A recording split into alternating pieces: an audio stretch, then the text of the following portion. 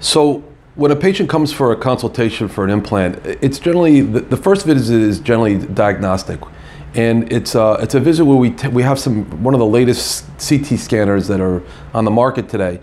And what a CT scanner is, it's a way to look at the bone in three dimensions. So it's really the standard of care. It's the the ideal protocol to take a patient to scan the area, and then on this beautiful screen, I can actually rotate, look, and look at the area and see what the bone looks like in terms of the site where an implant needs to be placed.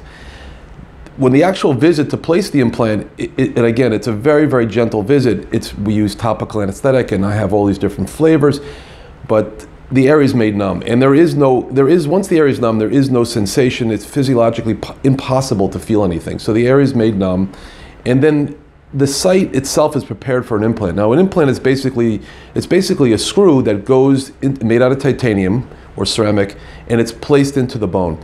And that visit itself could take 20 minutes. It could take a half hour. It's generally not a long appointment, um, depending on how many implants we're placing. Then the, there's generally two or three stitches that are in the area, and those sutures that are we placed in there, they actually dissolve by themselves. And the patient is the patient. You leave. Um, there's generally a follow up maybe a week later, or then there's a follow up uh, a month or so later. And the process from the time that the implant's placed until the time that we're ready to put a tooth on top of the implant, remember the implant is just the foundation for the new tooth, that's about a three month process. Um, and in that time, um, there's really not much to do. The body knows what to do and it actually heals in that period.